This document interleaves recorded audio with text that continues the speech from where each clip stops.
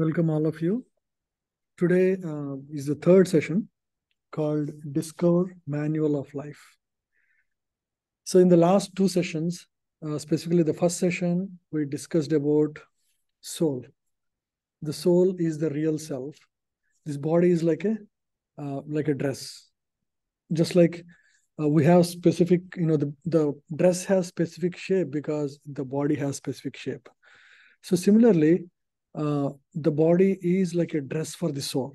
The real self is Atman, and uh, you know we are like the driver. The self is the driver. Uh, we learned about you know little more de- in depth uh, about the concept of soul. Uh, similarly, just like the soul lightens up the body or makes up the you know the personality of the body. for this whole cosmos, there is you know we discussed about the concept of god who lightens up the universe or the existence. Uh, so so he's the the god is the driver for the uh, cosmos the existence that we see around. So with this um, just like when uh, you know just like the driver needs a manual to operate this mission called body you know uh, any anything in our life we take you know we need a manual to operate properly right? You buy a cooker for example. You know that you know uh, you need to switch it off at say third whistle or fourth whistle if you don't you know you may spoil the kitchen right? So similarly we need a manual for our life. If the body is a mission or this cosmos is a mission it is operating under certain conditions. So we need to understand to live in harmony in this existence or to live in harmony with yourself, you need a manual. The manual, that manual is the Vedic wisdom, or specifically Bhagavad Gita. Bhagavad Gita is like a life manual. It teaches how to lead a very meaningful and purposeful life in this existence, um, how to live in harmony uh, with you know people, things, everything around us right? Uh, through ups and downs, how to lead, you know, uh, without being disturbed, uh, how to lead, you know, a purposeful life. So we learn about, um, you know, that manual of life, uh, right? But this manual of life is not knowledge that was coming from human like us. It's it has an origin that is beyond uh, human intellect, right? It's actually given by god. But how do we trust you know in such ideas whether it is really coming from god? So we'll understand a little more about in general how do we acquire knowledge in this world? And how do we actually uh, understand you know what is perfect knowledge right? So we'll understand those concepts today. Yeah first before that to because we are talking about Vedic knowledge, how do we really believe Vedic knowledge is great or Vedic knowledge is perfect? So in Vedas, there is description of chara and achara much long before, like thousands of years ago itself in the Vedic wisdom. Like chara means, you know, the moving living entities. Achara means non-moving. For example, plants are, you know, plants do not move, right? Plants are in one place until recently, until say 100 years ago, the modern you know world or the modern science believed that plants have no life. Yeah. So until Jagadish Chandra Bose, you know, a, an Indian scientist who proved that plants have life. Right. Uh, but this fact was given in Vedas much long before, thousands of years ago. So we can see that you know Vedic aphorisms stood the test of time, and in fact, you know we could prove you know with modern science that these these are actually facts right? So this is this is one fact. The embryology is how the child goes you know grows from the day one from the time the sperm and you know egg unite right? So that when did modern science come to know about it? It's only like maybe 50 60 years ago when you know the ultrasound came into existence. Uh, so now with ultrasounds, uh, you know, discovery, modern world come to know exactly how the embryo grows from you know uh, the the size of you know the pea to the to the emulsification and the whole month by month growth but the exact description of how the this embryo develops from day one since the time the sperm and the egg unite so that is given in scriptures like bhagavatam in third canto very clearly describes exactly how from day one what is the progress when the hands form when the mind develops. So all those you know how the moments of the fetus will be all those are given in vedic scriptures which are at least thousands of years ago right? So they if you think about it they don't have access to modern uh, you know uh, modern science or ultrasound or anything. So how did they even discover the you know movements of uh, you know the baby in the womb from day one when they don't have any of these instruments? So there is a higher science. There is a different ways to know these you know the truths of this existence so embryology is one example. And cow dung especially in the you know in the villages even today they use cow dung mixed with water as you know antiseptic. They pour it before their you know their homes to keep away from bees mosquitoes and other uh, you know insects. Um, so it's antiseptic. And it is a well-known thing from thousands of years in india they use that when did modern science figure that actually cow dung is uh, antiseptic? That's only like you know 40 50 years ago. Uh, but india modern you know the uh, sanatan dharma or vedic uh, wisdom you know already propounds that this you know cow dung is actually uh, antiseptic and it has a lot of good qualities. If you look at any other you know uh, waste or you know uh, excreta is no other excreta has such properties. Only cow's excreta has that properties. It's unique. And this truth is known to us. You know vedic science knows this fact long long time ago. So these are some of the facts uh, you know even yoga right? Yoga you know modern world you know in the west the focus is on you know uh, gym how to develop your physical fitness. But uh, in the in the vedic india the the focus to keep your health is through practice of yoga and we all know very well even in the west now yoga is more popular than gyms uh, everywhere people you know practice yoga and asanas to keep their body fit so this is a known thing for many, many thousands of years ago, right? Uh, in the Vedic India. And today, uh, astrology, you know, astrology is a science. You know, people can predict very well how you know things will unfold if people know the science. Uh, so there is organic farming, Sanskrit. So these are all, you know, Vedic truths which have stood the test of time. These are some of the examples.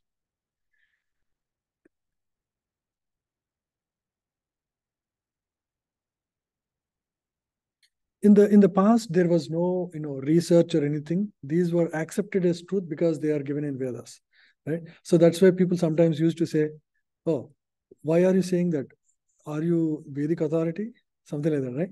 So people say like that because Vedic authority is taken as axiomatic truth, means it's um, you know it's unquestionable facts right now we'll understand you know to gain faith in vedic wisdom we'll understand where exactly vedic wisdom really fits in in this overall scope of gaining knowledge in this existence right? So let's uh, so there are there is a there is a story we'll learn now. Uh, six blind men and one wise man. Uh, and then so these are the topics we'll cover. Three ways of gaining knowledge four defects and uh, you know uh, scientific research as well on this. So you see here, there is an elephant and uh, there are six blind men. So the first man, so each of them are blind, so they don't know what that is. So they're trying to figure out what that is. closed their, their eyes are all blind. So, so somebody caught the trunk, and uh, he felt it is a snake, right? So it looks like snake. Maybe you know, elephant is like a snake. He said. The second man, he caught the tail. He said, "This must be a rope." Elephant is like a rope. Is his statement. So third man caught the ear. So he felt, you know, this is so sharp. Maybe it's a dagger. He felt it's a dagger, right? So the fifth man held um, the the tusks. So he felt maybe this is uh, some, you know, dagger, you know, uh, or a sharp arrow, right? So he felt it is a sharp arrow. Sixth man touched the stomach. So he said elephant is a wall, right?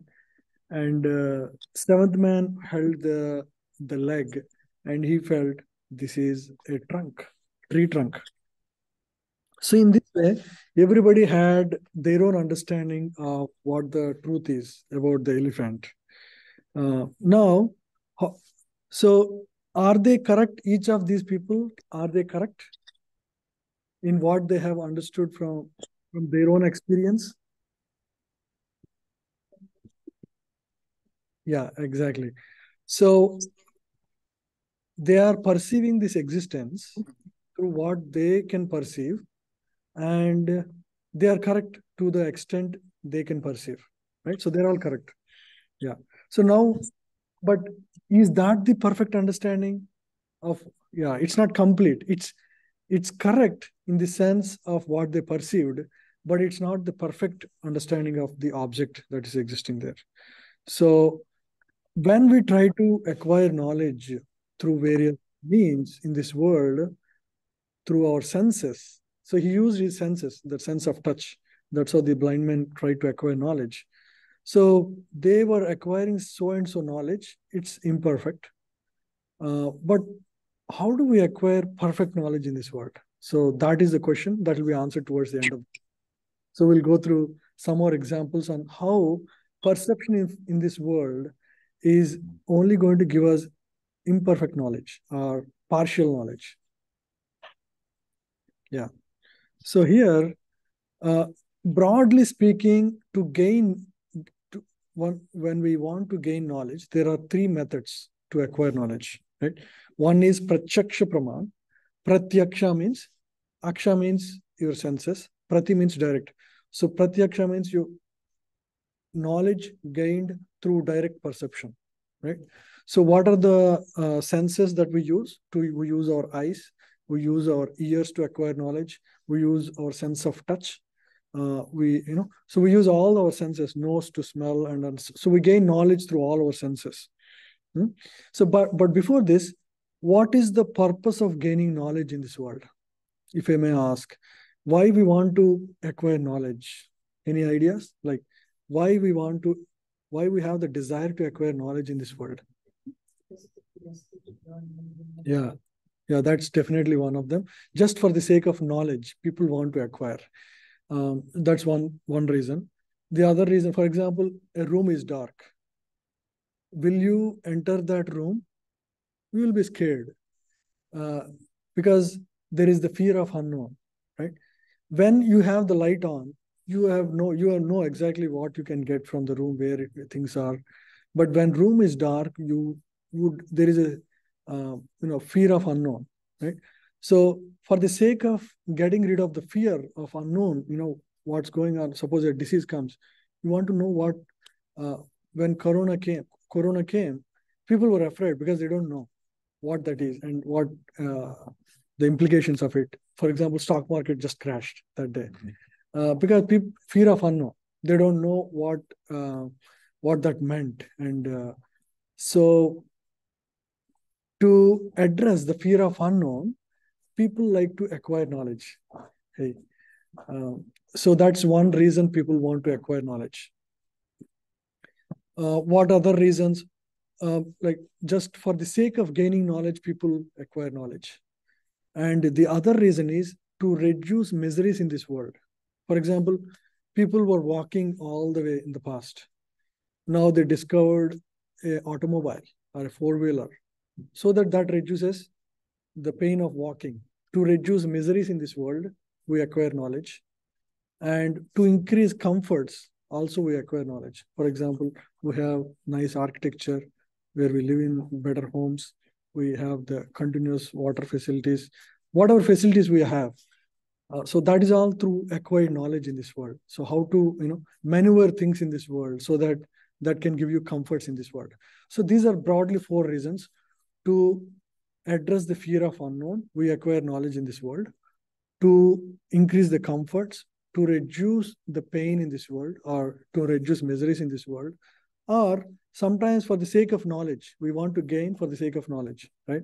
So one time, uh, Prabhupada, who was the you know founder acharya of uh, you know the ISKCON movement, when he was in the West, so he went to a you know, university where uh, department where you know that's I think biology department.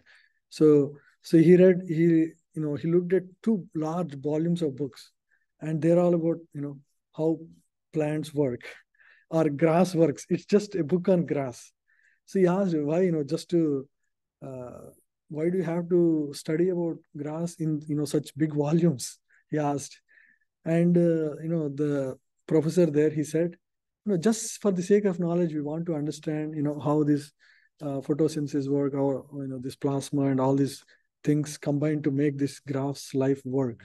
So we wanted to, for just for the pure curiosity and sake of knowledge, we, you know, we understand.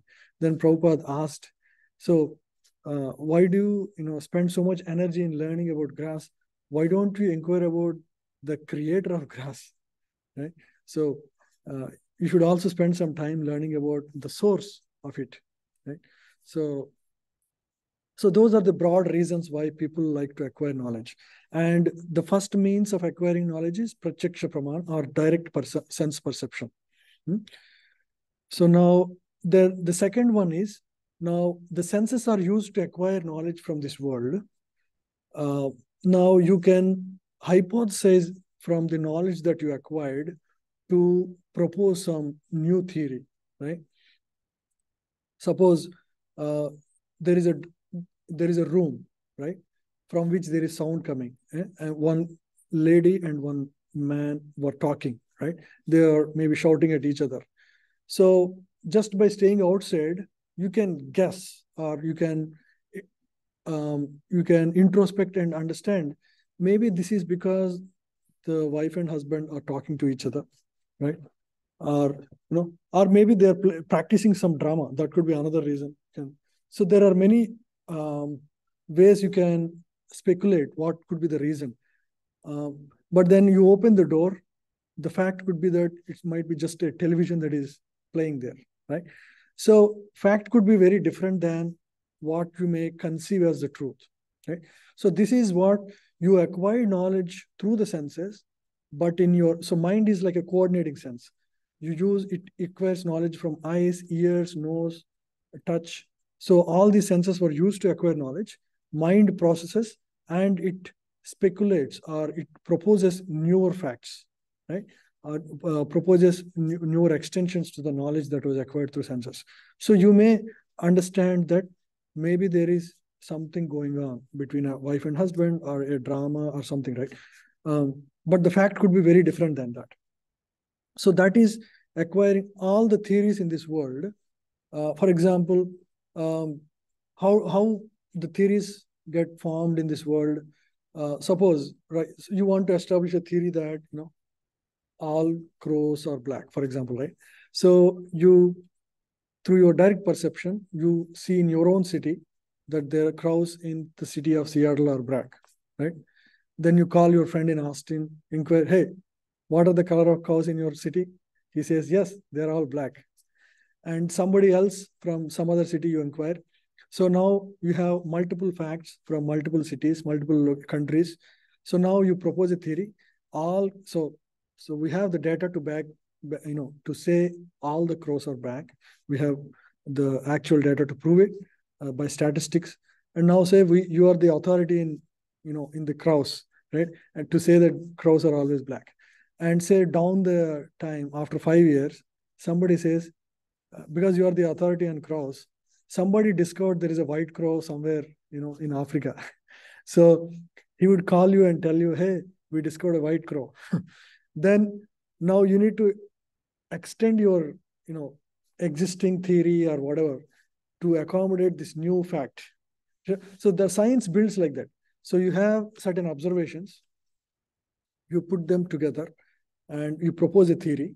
The theory stands good until a new fact that defeats your you know existing understanding. So the science grows like that, right? So now you have to change your fact saying crows are you know primarily black, but sometimes they can be white. So that's your new theory. So so that's why science has these additions. It's always you know incremental. It's never it's never perfect. It's always on the way to perfection, right? Uh, so that's that's the limitation of you know pratyaksha and anuman. So they acquire knowledge, but they stand true only until a contradicting fact comes, and knowledge has to be the new facts have to be accommodated with the existing understanding. So that's how knowledge always works. Shabda Praman. So we learn about this in future, but uh, Shabda Praman is if you want to know some facts, the best, for example, if you want to know who your father is, right? Uh, you can do, say, DNA test, but there is a limitation. How many people? So it's mentioned that it may take about 100 years to get uh, in this world, if you have to find out who your father is through scientific research, through DNA uh, match, in a 100 year period of time, if you calculate, you know, reach out to all the people's DNA, you would come to about 200 people who could be one of your father based on age and everything, right? So it's not practical to find through, but the easiest way to find who your father is to ask your mother, right? So mother is the authority to tell who your father is. You can confirmly believe when mother says, he's my father, yeah? So Shabda Praman is like that. It's hearing from a bona fide authority right? So Vedas are fall under that category where knowledge is already coming from a bona fide authority, right? So, so we learn more about it. So let's, you know, we'll discuss these three topics with little more, you know, facts so that the conviction becomes very clear, right? So let's discuss Pratyaksha Praman here. Yeah, the question is whether Pratyaksha or Anuman, can they give us perfect knowledge, right? So you see here, people say, seeing is believing. Whatever I see, that's all I believe, right? But here you see, um, you see parallel lines of the track as if they are converging. But are they really converging? No. But eyes show as if they are converging, right? But that's not the fact. You can see here the distorted reflection in a concave and a convex lens the same person looks very different. What you say, if what you say is what you see is what you believe, then what you see here is not truth. Here, due to law of refraction, the pencil is shown as if it is broken in the middle. But so what we are seeing here is we cannot really trust what we see. Right? So here you see the mirage. It appears as if there is water on the on the tar road, but actually it's just a mirage. It's not, you know, water. So similarly, we just showed some examples of eyes, how eyes can defeat us. But many times, all these senses are like that. Sight, touch, hearing, all these can defeat us the same way. So we cannot acquire complete perfect knowledge through our material senses. Yeah. So why we cannot acquire? Because uh, there are four defects, right? So the senses are imperfect. The senses, the eyes, ears, through which we acquire knowledge, they're imperfect. For example, eyes can see only certain range. And from the examples that we saw till now, we cannot believe our eyes. It may show as if you know, uh, the fact is different than what we see, right? So imperfect senses, but when you acquire knowledge through these imperfect senses, the naturally you get illusioned, just like we saw the track there. It appeared as if it is converging, but it's not converging, right? So because you're basing knowledge on imperfect senses, there is tendency to get illusioned, right? Yeah. And if you get illusioned, naturally you commit mistakes, right?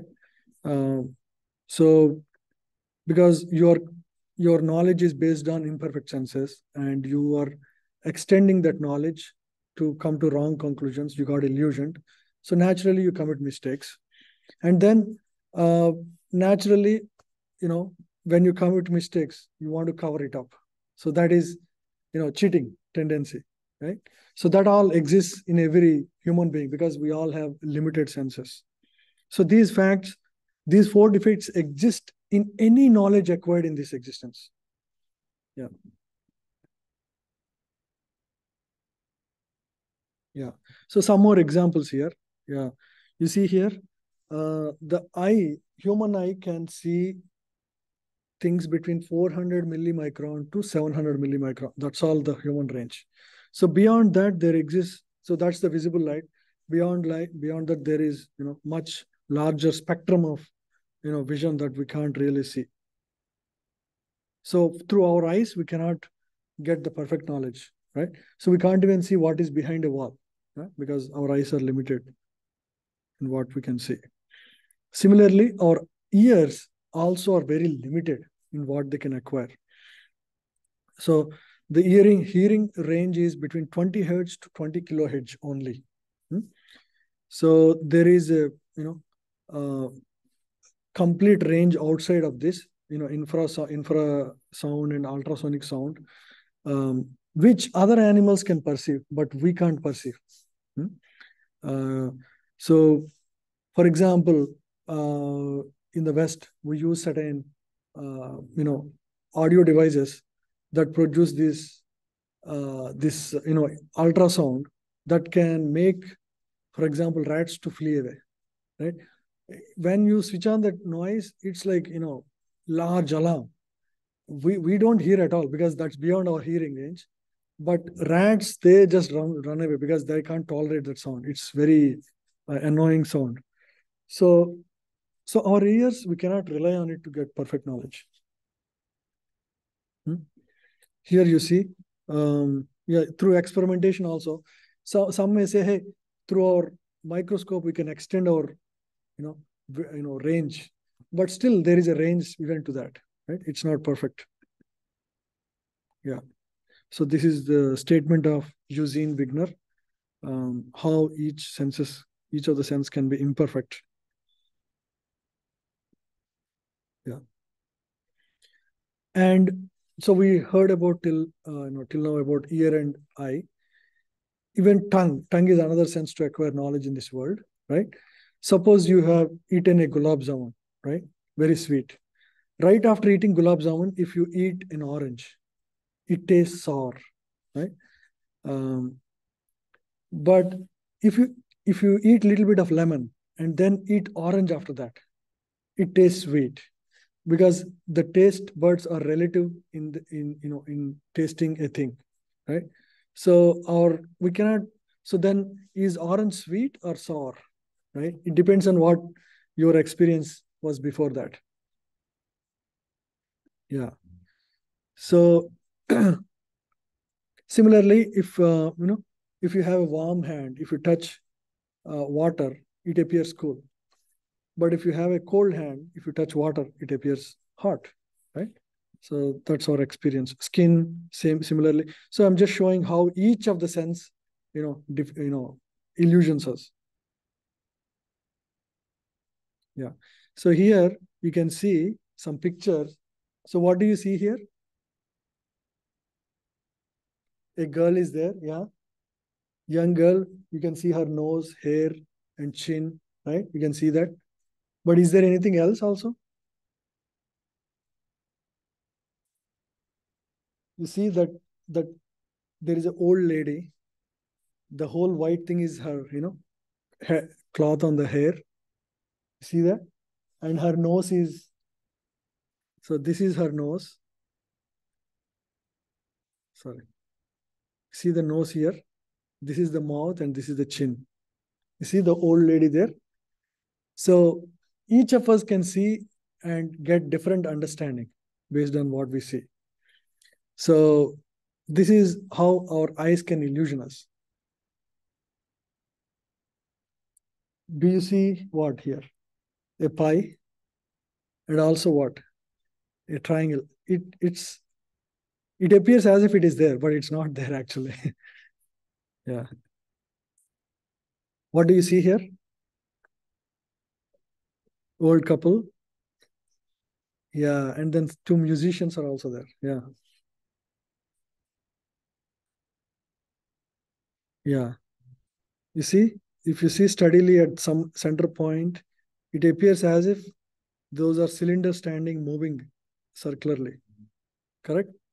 But actually, it's a static picture. Right? So you can see how our eyes illusion us. Look at the center. You see the, you know, the circles moving. See the center dot and move your head, uh, you know, front and black. You can see as if the circles are, you know, turning around.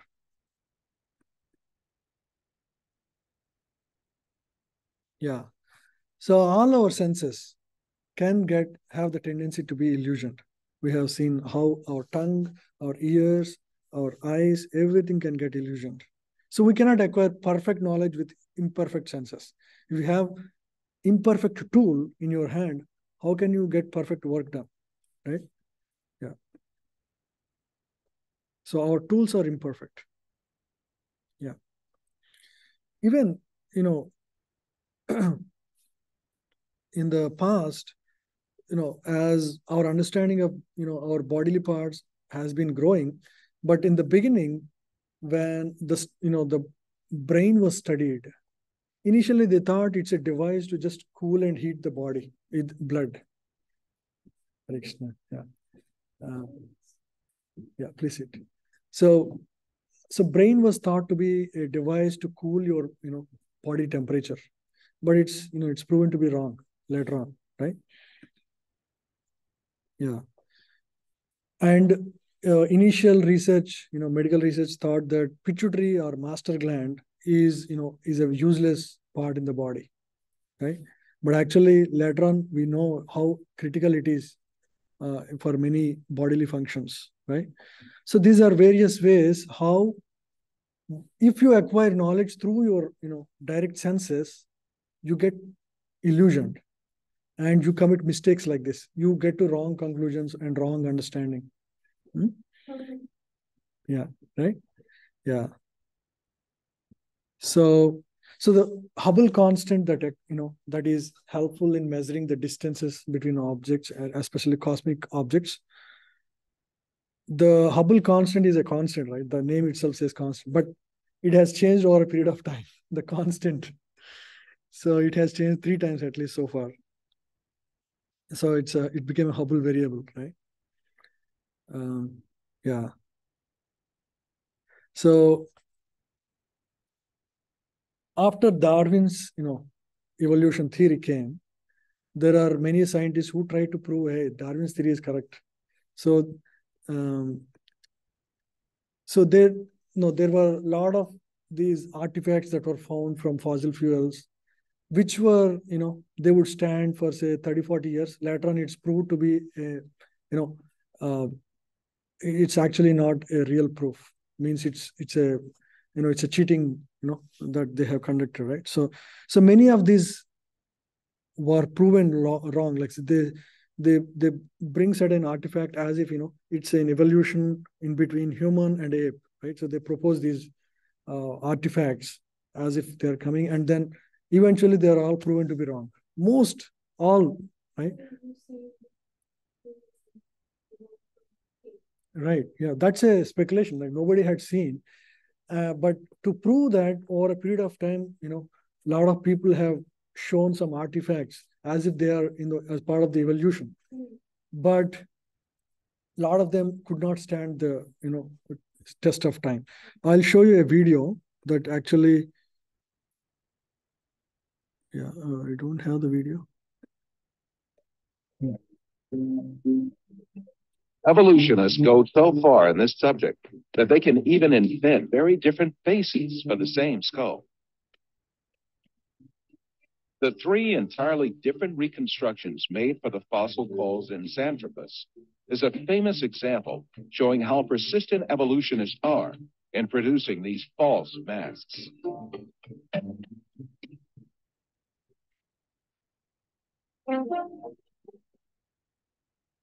Another intermediate transitional form fabricated by evolutionists was the Nebraska man.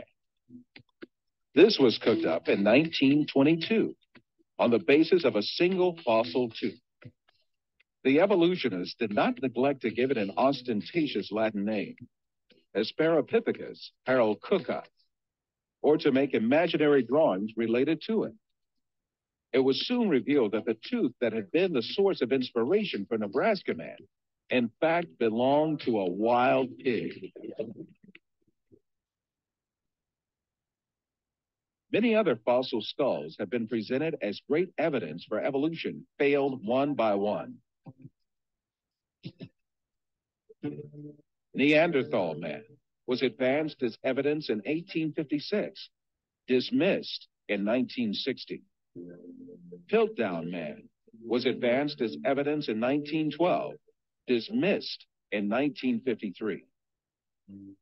Zinjanthropus was advanced as evidence in 1959, dismissed in 1960. Ramapithecus was advanced as evidence in 1964, dismissed in 1979.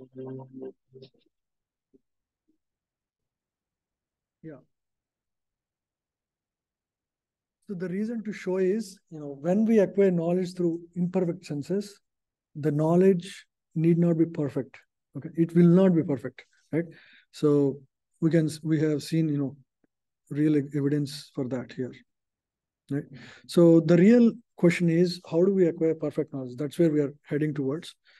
Um, so we saw pratyaksha praman, which is direct perception, and how that could lead us to, you know, incorrect conclusions. Now Anuman Praman, we acquire knowledge in this world through the senses. And um, so when mind is like a coordinating sense, it acquires this knowledge and proposes new theories, right? So that's what we discussed a little while ago. So that is called Anuman Praman, right? It's basically um, observations and then coming to newer conclusions or inferences. So we'll see Anuman Praman a little more how it cannot be perfect, right? Yeah, so this is, uh, yeah, so this is a statement of Darwin, right? I'm a firm believer that without speculation, there is no good and original observation. After five years of work, I allowed myself to speculate on the subject and drew up some short notes. These I enlarged in 1844 into a sketch of the conclusion, which seemed to me probable. So it's this is a statement of Darwin. So he made some observations and he put forward his theory of uh, you know the theory of evolution, origin of species, right? so we can see like you know some of the evidences that came to prove Darwin's theory how they failed. Right? It's a pure you know speculative theory, right? Yeah, so this is yeah, so, um, but later on, there are proofs to show that men as well as apes are the so-called the evolutionary thing have existed together millions of years ago, right? Uh, so that really proves to be wrong theory, right?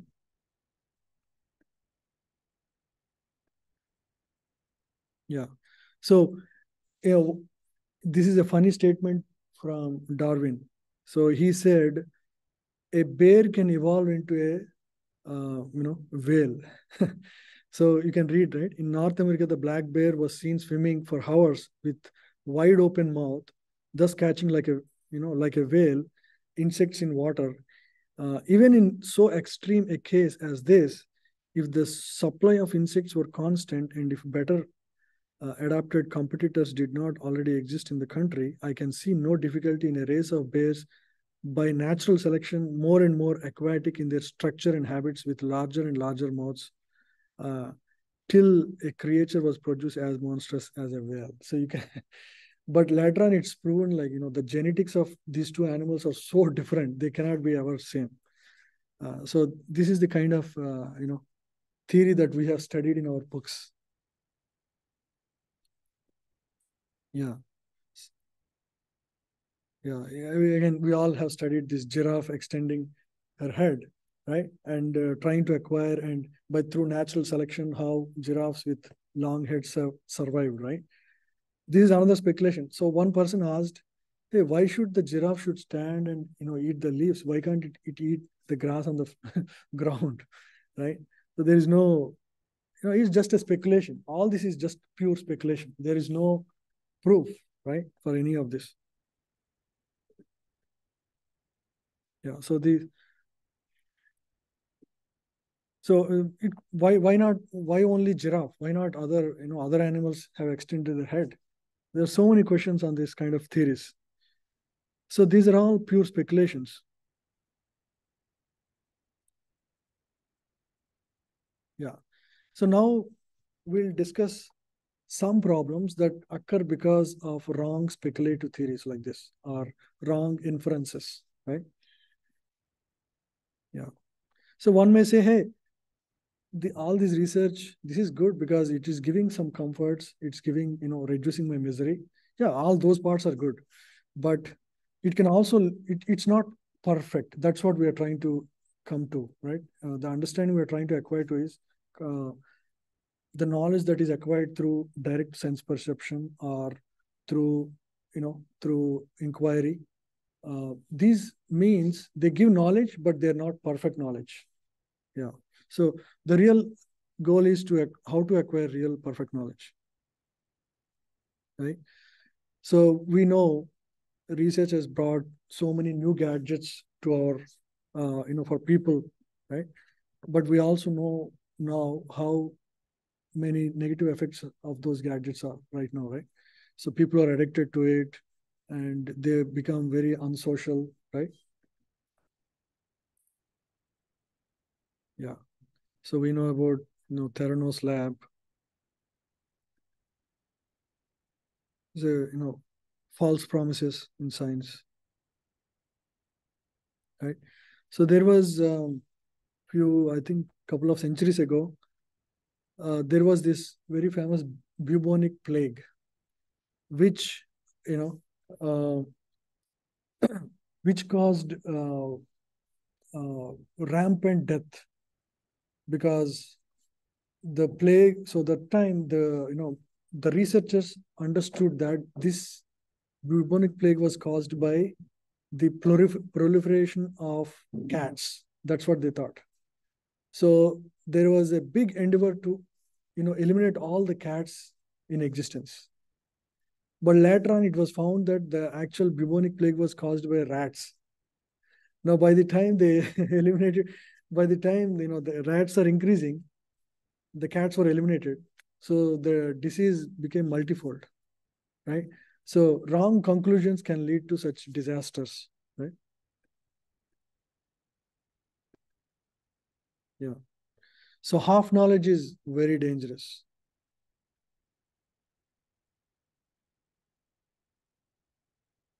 Yeah. Many times, solution, the so-called solution to a problem can be a bigger problem, right? So in the um, so in the past, people were depending on you know many things made of wood, right? Um, like chairs or anything, right? Uh, but later on, they realized you know these wood is cutting wood is causing a lot of deforestation. Let's uh, depend on something else.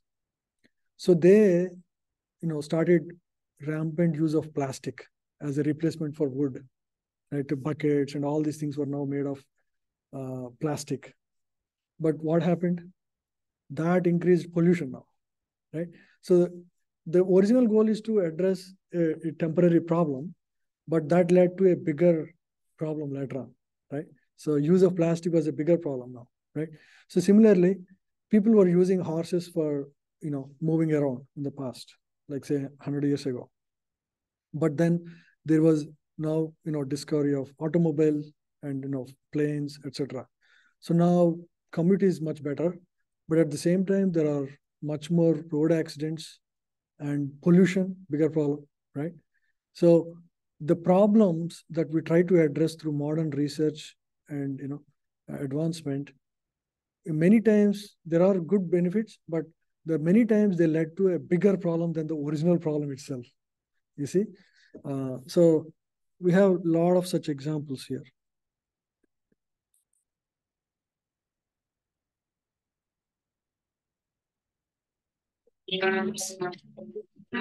So here is a you know sample of a person who is trying to speculate on how a device can be used by without really using a manual. Yeah so in this world also we try to you know many times we try to use our own intelligence to operate things. And that may not work out to be the best right? So we'll see how you know this person is trying to discover a you know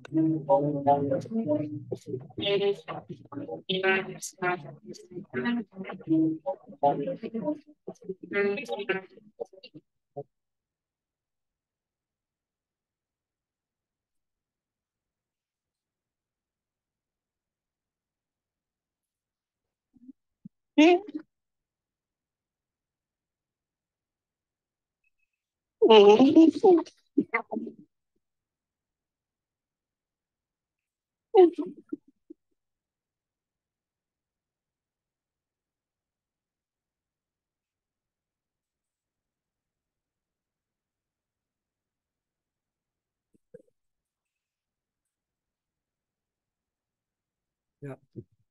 so sometimes when we try to figure out without taking consistency, we can make our life more complicated. That's the lesson.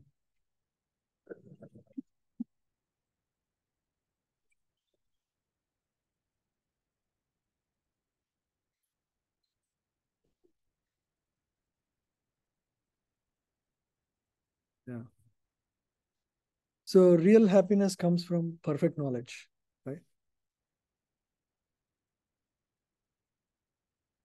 now so where is the manual that gives this perfect understanding of everything around us right? That leads to key you know that that gives uh, the real key to happiness. Yeah. Now we will yeah. You can read this right? So so the person is asking how do we acquire knowledge? We we discussed that you know we have these four defects because of which you know we cannot acquire perfect knowledge through our senses. Nor can we use these senses and speculate further from you know because that's an extension to our senses only so it cannot even give perfect knowledge. How do we acquire perfect knowledge in this world? Right so what is the other way around? Is there any other way? So that is called shabda praman or hearing from a bona fide authority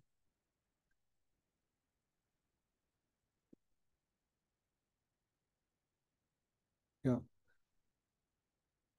So in bhagavad gita krishna says in fourth chapter evam parampara praptam imam raja shayo vidu.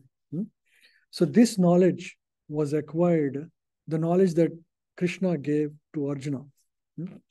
this is this is not you know something that i'm giving you right now.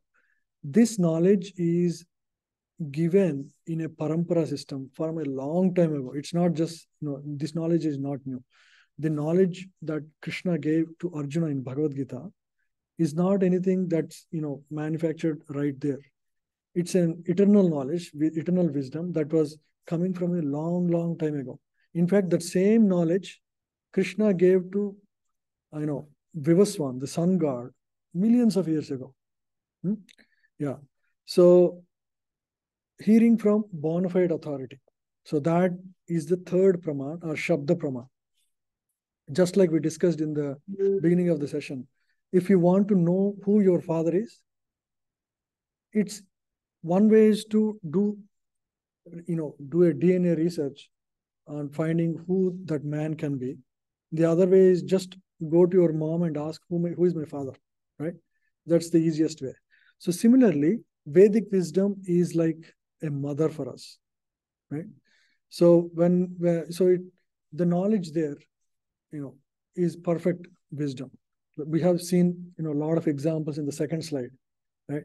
How Vedic truths have stood the test of time, right? So Vedic aphorisms, they're like, you know, how we discussed about how cow dung is pure, huh? or embryology. All these are wisdom that is already given in Vedic texts, and there is no research or anything done. But because the origin of the so knowledge is perfect, we just have to accept and that that's perfect knowledge. In fact, all the Vedic truths through scientific experimentation can be proven. Not everything, but whatever physically possible can be proven, right? So that's how Jagadish Chandra Bose proved that plants have life, right? He has taken a Vedic truth and through experimentation, he proved that its plants have truly life, right? So we can do research and prove a lot of these you know, Vedic facts. Yeah, so this we discussed, right? So you can do medical procedure, but you can't really perfect, right? The other perfect method is to inquire from mother. So it's called deductive knowledge. So the other method is called inductive knowledge, where you acquire from other sources. Deductive knowledge is there is a higher source of truth. You just acquire by, you know, uh, faithfully hearing.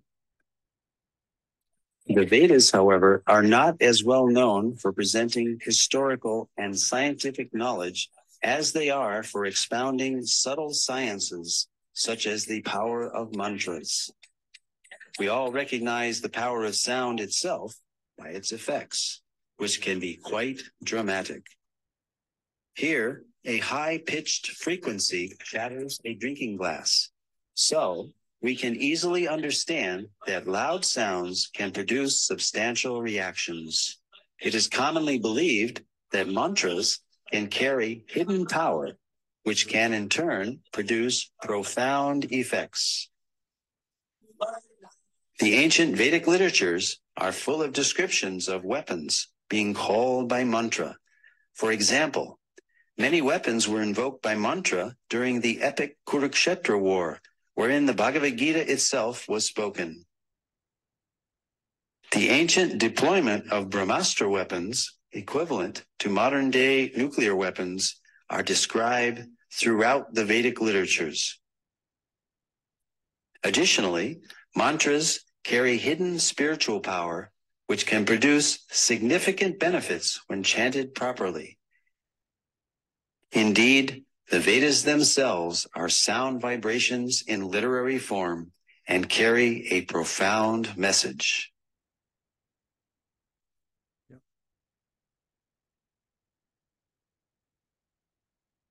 Vedas are like a mother, right? Mother always you know, wishes the best. She always, whatever she informs us is in our best interest. God is like the father. Vedic wisdom gives knowledge of God, right? not just wisdom of this world.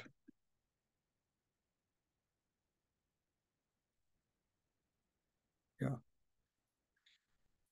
Just like, you know, uh, in this world, when we want to acquire knowledge, we go to authorized universities or you know well-established universities. We we don't go to any random place to learn, right? Because we the source of knowledge we want to make sure it's bona fide, right? So similarly, if you want to acquire Vedic knowledge, so what are the authoritative sources, right? So this, like in the words that we discussed a little while ago, so that can be acquired through a parampara system. There are well-known Vedic paramparas uh, because the source of all these paramparas are, you know, perfect source. Because the source is perfect, the line of, you know, the teachers coming in that line would transmit the knowledge without any adulteration. So as long as there is no adulteration, the, the knowledge is as good as hearing directly from the source, right? So um, hearing in a parampara is going to give us perfect knowledge. If one may say, hey, I don't have the opportunity to hear Bhagavad Gita directly from Lord Krishna, does it mean that we don't have the opportunity to acquire same realization as Arjuna? No, because there are paramparas starting from Lord Krishna. And in that line of teachers, the message was transmitted as it is. Right? If we have a parampara, if we learn from a teacher coming in that parampara, who is directly in that line is connected to Lord Krishna.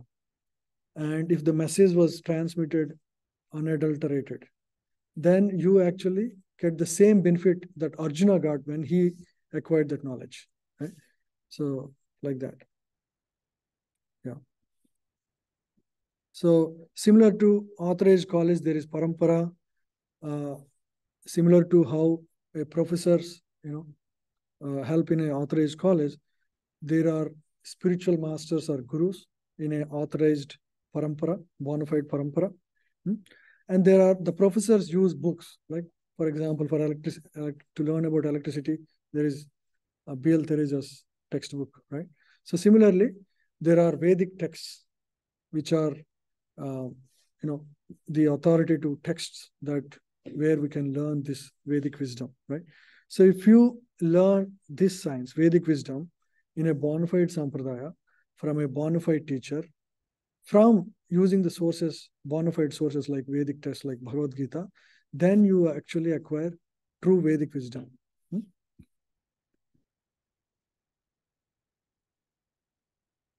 Yeah. So this is, you know, the, the advanced sciences is also there in, you know, in the Vedic books like Viman Shastra. I'll not, I'll skip this one. University of California at Irvine, April 2017. I'll skip this one. Aerospace engineer Travis he Taylor. that you know some aerodynamic properties exist, you know, that were given in Vedic texts, where he was able to prove in a lab that it works. In the interest of time, I'll just skip.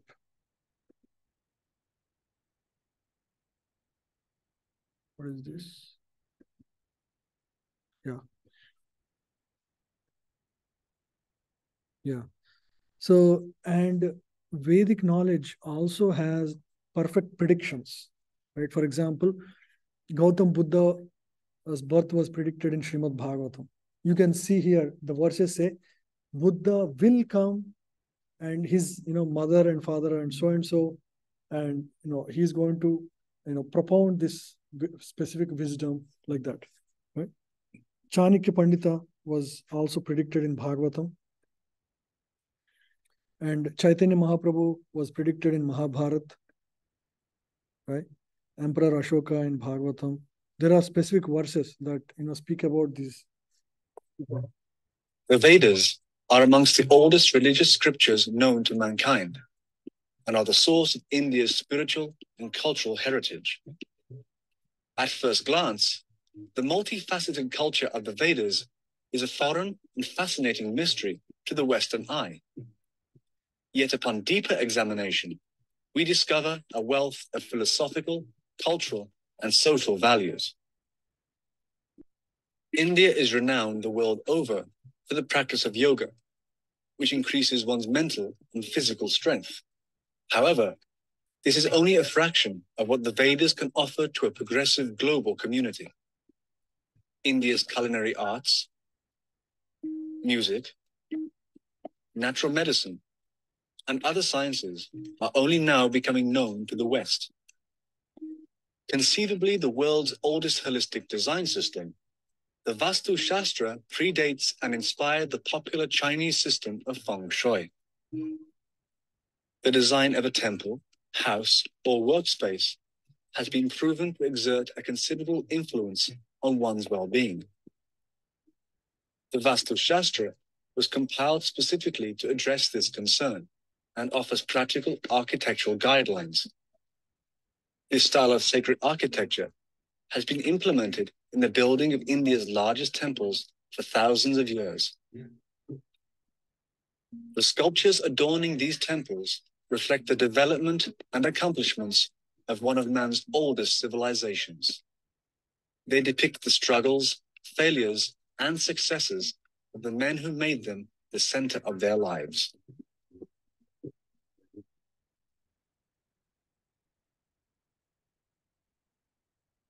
Sophisticated Vedic sciences of astrology, astronomy, cosmology, and metaphysics profoundly influenced the Greeks, Babylonians, and even contemporary scientists with their unparalleled knowledge. Ancient Vedic sages presented precise calculations a millennium before Copernicus, Galileo, Newton, and Einstein.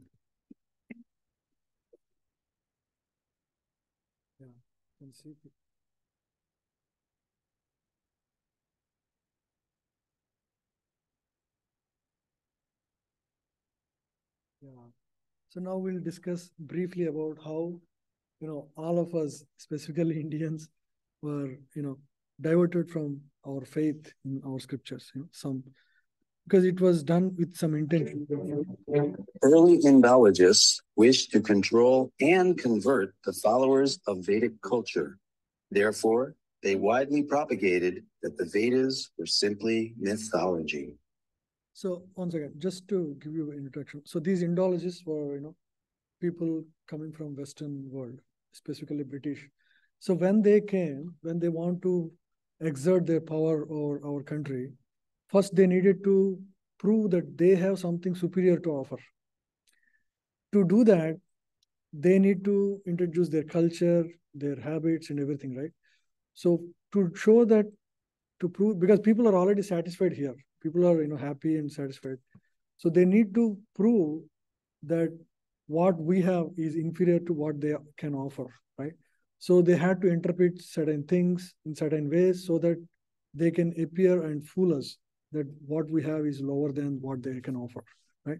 So, so Max Muller and these, you know, some of these uh, Indologists were specifically appointed. These are actually all intellectuals from the West. They all were appointed to actually, you know, inferiorize our culture. Max Muller, perhaps the most well-known early Sanskritist and Indologist, although later in life he glorified the Vedas, initially wrote that the Vedas were worse than savage, and India must be conquered again by education. Its religion is doomed.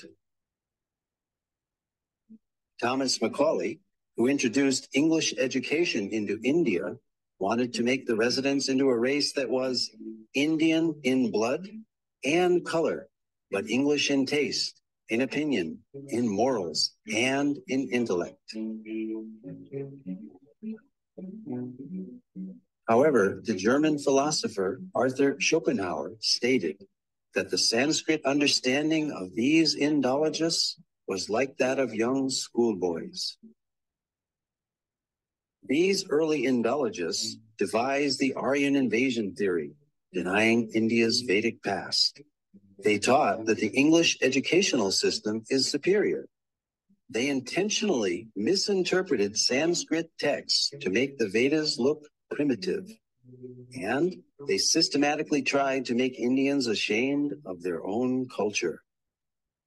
Thus, the actions of these Indologists seems to indicate that they were motivated by a racial bias. Yeah, you can see. Yeah, you can see now a statement by Tulsi Gabbard. She's a US congressman in the past. Now I think she's. Aloha and namaste. 2020 is certainly a year that will not soon be forgotten. For most, if not all of us, it has brought about many unexpected changes. The uncertainty that this year has brought has made me personally reflect upon the time that I spent deployed in the Middle East. That too was a time in my life when there was danger at every step. Each day brought new uncertainties, and likewise, many lives were lost. My shelter then and now has been the Bhagavad Gita, which means Song of God.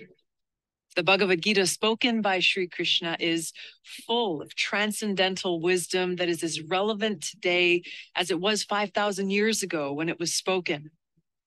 when we are blown here and there by the strong winds of change, when giant waves are crashing upon us, when we're feeling unsteady, lost, adrift, the Bhagavad Gita offers us guidance and hope. Looking at our problems through the prism of eternality, rather than merely identifying with our temporary material circumstances, gives us an anchor that offers great peace, purpose, and stability through even the most trying of times. May we always be blessed with remembrance of Sri Krishna, his unconditional love, and his transcendental appearance in this world. Jaya Shri Krishna.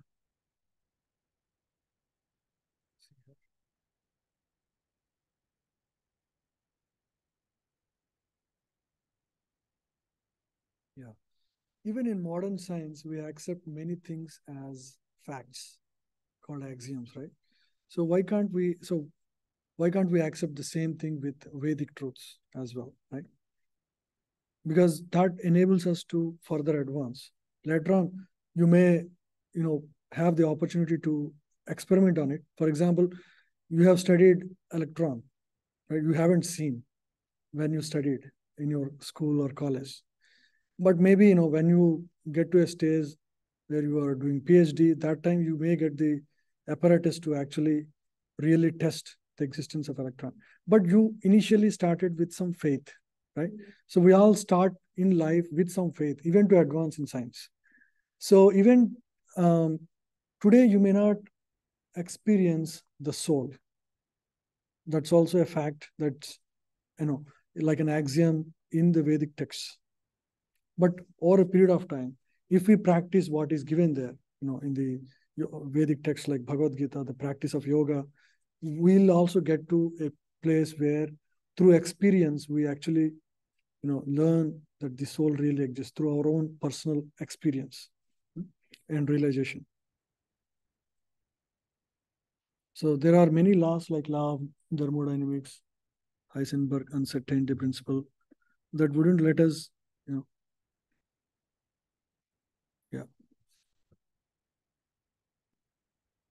Yeah, so these are the four uh, institutes from where we can acquire perfect knowledge, just like we discussed. Uh, you know, in the modern world, there is these universities where we acquire knowledge, right? The well-established universities. So similarly, there are four, you know, sampradayas coming from, you know, the highest authorities, like Lakshmi, Sri Sampradaya. There is one sourced at Brahmaji, Lord Brahma there is one sourced at Rudra, and there are there is one sourced by four Kumaras.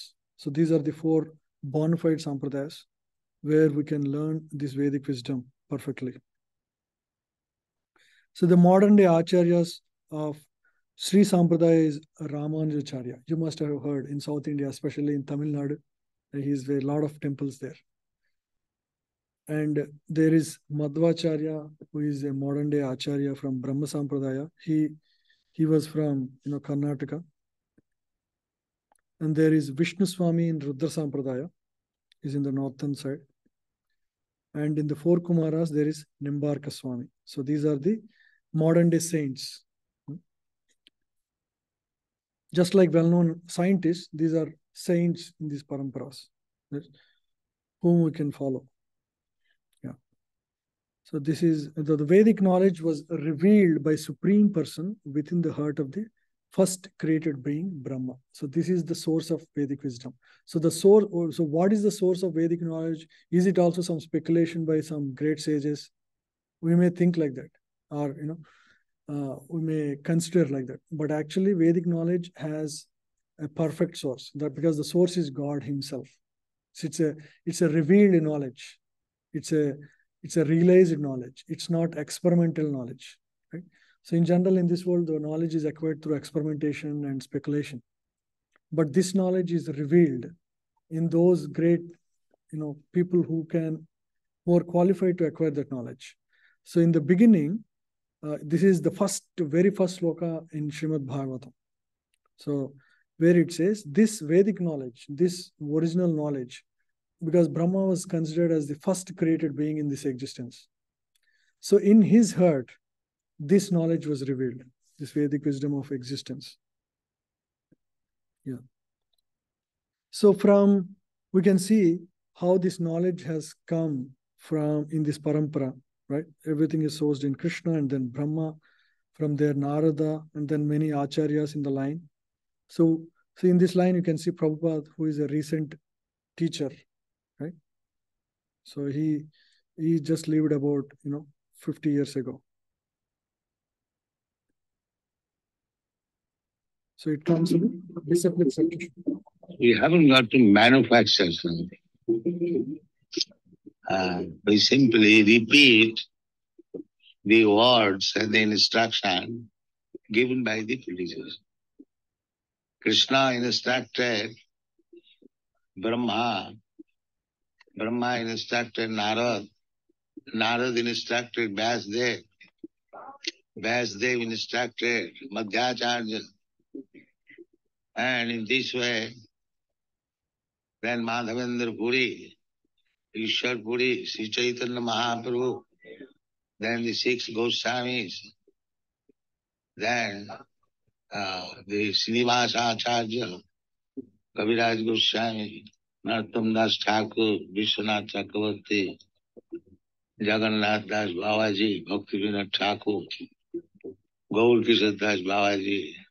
Bhakti Siddhanta Saraswati, and then we are doing the same thing.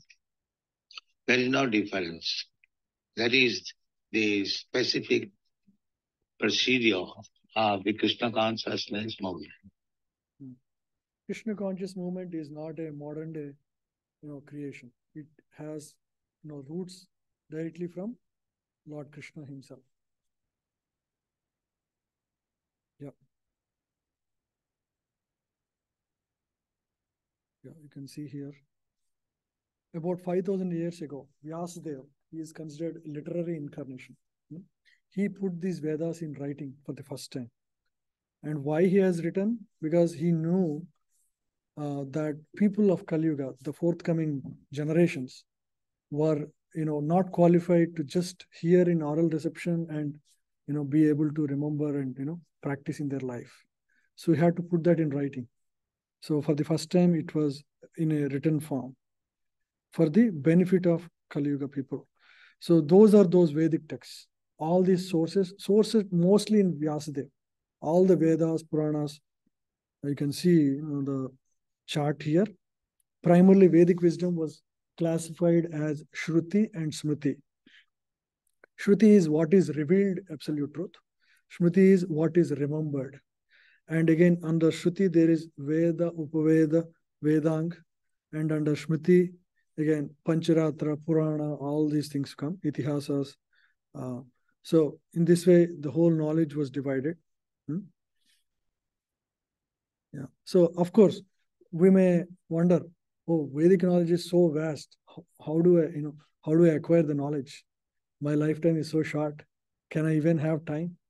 You know, where do I, how do I, what's the means for me? Right? The good thing is all this knowledge, the essence of all the Vedic wisdom is captured in one small book. What is that? Bhagavad Gita. Yeah. Bhagavad Gita is, suppose if this all this Vedic wisdom is like a cow's body.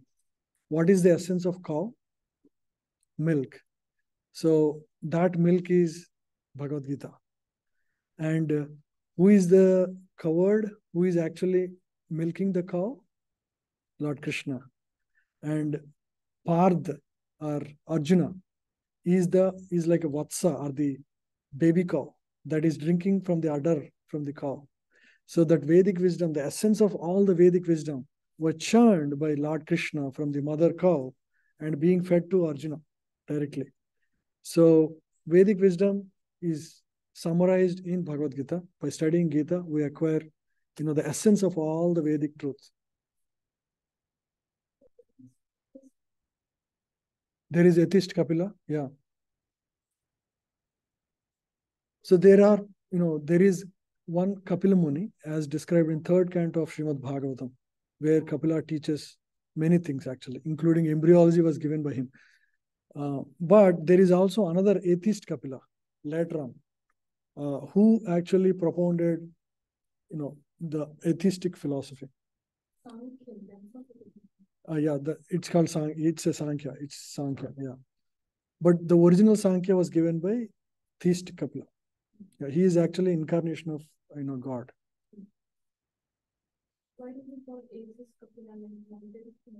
Because he propounded um, atheism through his Sankhya philosophy.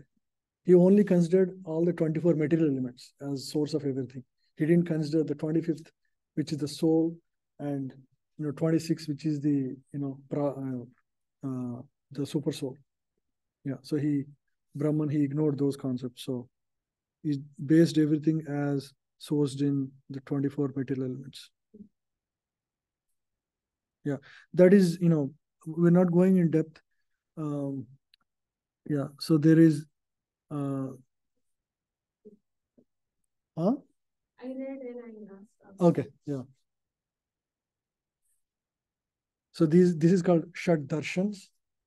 Um, darshan means how do you, you know interpret the philosophy. So there is this Vedic wisdom.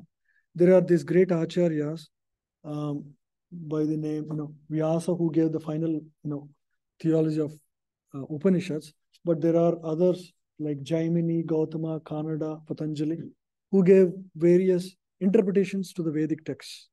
But they're all, you know, again, like one-sided truth. They're not perfect.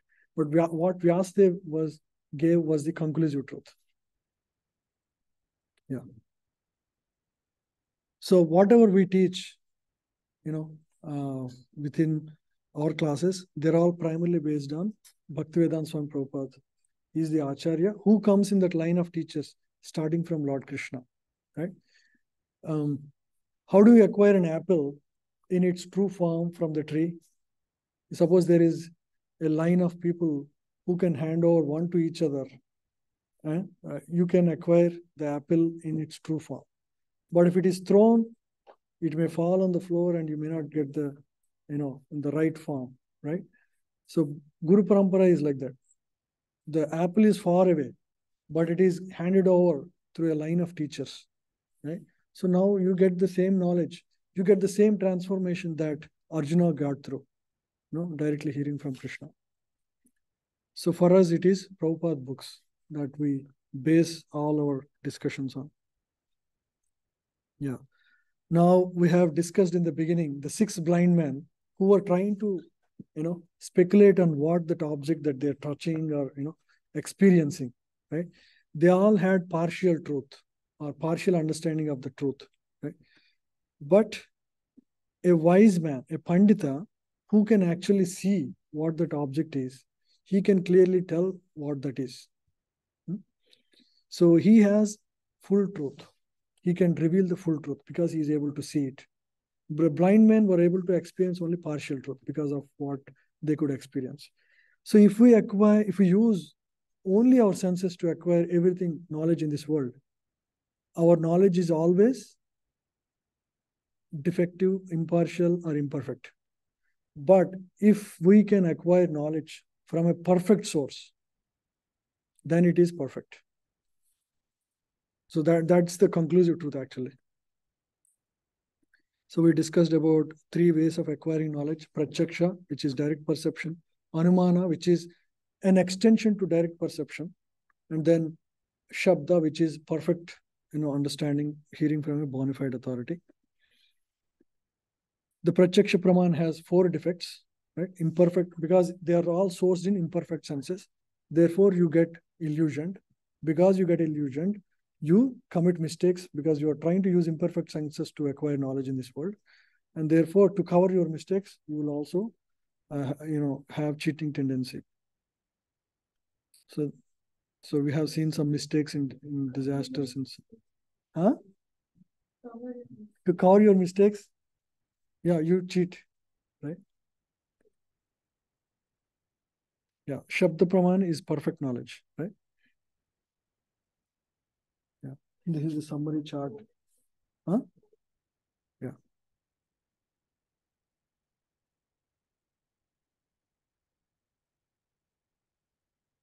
So we discussed some Vedic truths and predictions. the four sampradayas and the branches of Vedas briefly. Yes, that is the summary of you know uh, the topic for today. So we'll continue our discussion next week. There are about five people online. Any questions, anyone, on what we discussed?